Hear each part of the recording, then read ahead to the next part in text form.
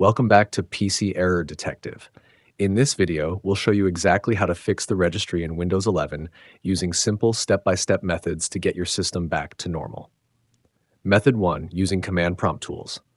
Step 1, type cmdad in the search bar, right-click on command prompt, and select Run as Administrator. This gives you full access to system-level commands.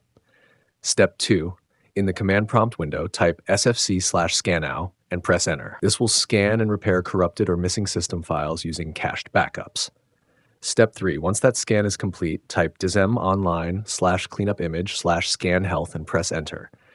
This checks if the Windows image is damaged and helps diagnose deeper problems. Step 4. Next, type dism slash online cleanup image restore health and hit enter. This command will repair any issues found in the previous scan. Step 5. Restart your computer after these scans are complete. This ensures that any repaired files are correctly loaded into Windows. Method 2. Using System Restore.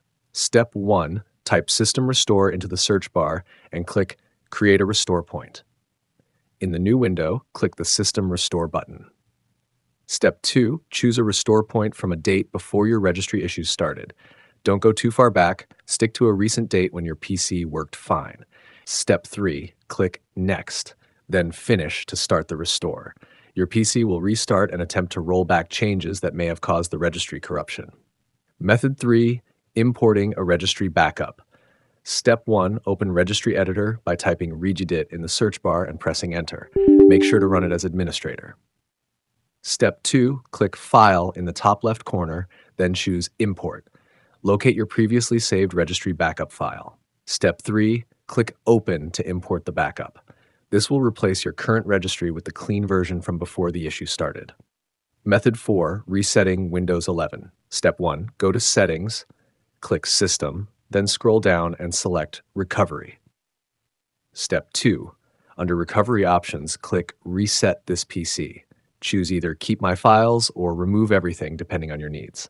Step 3, Follow the on-screen instructions. Windows will reinstall itself, which can fix severe registry problems caused by software or corrupted settings.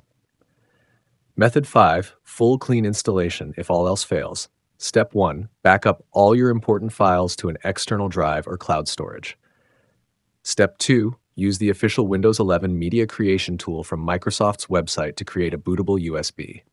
Step 3, boot from the USB and perform a clean installation. This will wipe the system and remove all software-related issues, including registry errors. Thanks for watching. Don't forget to subscribe to PC Error Detective for more helpful repair guides.